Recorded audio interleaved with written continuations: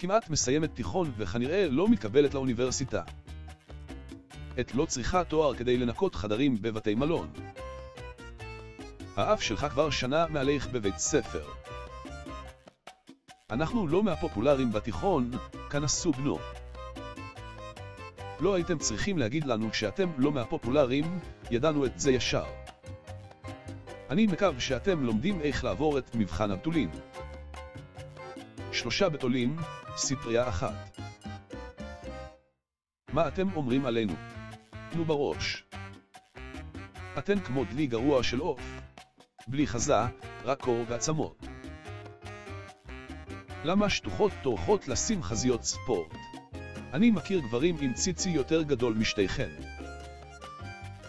בת 18, תלמידת תיכון קתולית שאוהבת שירה ואלכוהול.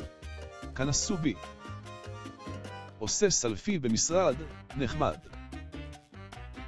נחמד לראות איפה קריירת הפורנו שלך התחילה. החצאית הזאת אפילו לא במרחק ארבע אצבעות מהברך שלך, אבל שנינו יודעים שכבר עברת ארבע אצבעות מזמן.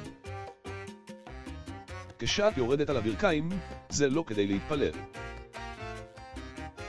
את טוענת שאת בת 18, הפרצוף טוען 16 והציצי 10.